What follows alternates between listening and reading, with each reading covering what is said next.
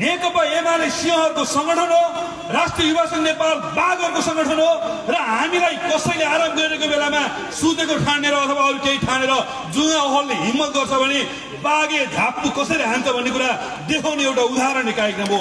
आज तपाईँले बाघे झाप्पु हानेर देखाउनु भएको छ। तपाईँलाई धेरै धेरै धन्यवाद छ। पहिचानका नारा दिने अराजकतावादीहरूलाई स्वीकार्दैन। धरानमा युवा सङ्घ नेपाललाई निषेध गर्छु भनेर भाषण ठोक्यो। अर्जुन धारामा महेश बस्नेतलाई निषेध गर्छु भने भाषण ठोक्यो।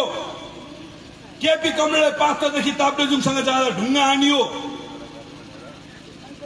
प्रहरी प्रशासनको सहयोगमा एमाले कार्यकर्ताको मनोबलमा हामीले यो सबै कुरालाई प्रतिरोध गरेका छौँ। किन हामी माथि आक्रमण भइरहेको छ? किनभने हामी सैद्धान्तिक रूपमा सही मूल्य मान्यता बोकेका छौँ। जनताको बहुतले जनवादी मान्यता बोकेका छौँ।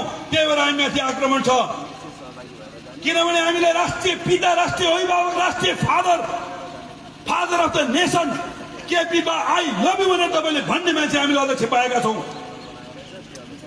एमालेका नेताहरू तुलनात्मक रूपमा शुद्ध छन् एमालेका कार्यकर्ताहरू तुलनात्मक रूपमा सही छन् सङ्गठन बलियो छ त्यही भएर आक्रमण हुन्छ राज्यले शान्तिपूर्ण सभा गर्ने शान्तिपूर्ण कार्यक्रम गर्ने हाम्रो अधिकारको सुरक्षा गरोस् भन्ने हाम्रो चाहना हो राज्यले गर्न सक्दैन फरक ढङ्गले राज्य प्रस्तुत हुन्छ भने हाम्रो सुरक्षा हामी आफै गर्न तयार छौँ। नेकपा एमाले तयार छ युवा सङ्घ नेपाल तयार छ।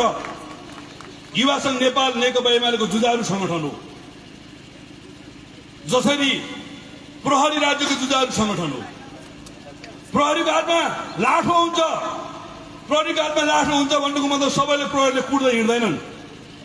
प्रहरीको हातमा लाठो किन हुन्छ भने अपराधीहरूलाई तस्करहरू माफियाहरूले बल प्रयोग गर्यो भने लाठो हान्नुपर्छ भने लाठो हुन्छ।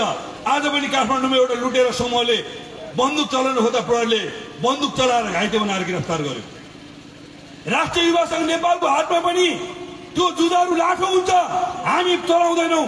जब हामी माथि बाधाले प्रयुक्त हुन्छ त्यस पछाडि राष्ट्रिय युवा सङ्घ नेपालले लाठो चलाउँछ। चलाउँछ।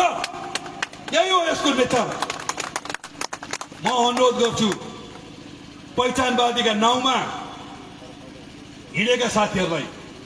म अनुरोध गर्छु अराजकतावादी साथीहरूलाई। एमालेसँग न्यु नखोज्नुहोस् भेडोले कहिलेकाहीँ घरको पिलरमा न्यु खोजेर हान्न जान्छ र सिङ फुत्किन्छ। पहाडमा कहिलेकाहीँ अर्ना मैसी अर्मठ भएर एक्लै एक्लै गरेर ठुल्ठुला रुखा ठोकिन्छ र सिङ भाँचिन्छ। अनि त्यही बेला सिंह र बाघले अट्याक हान्छ।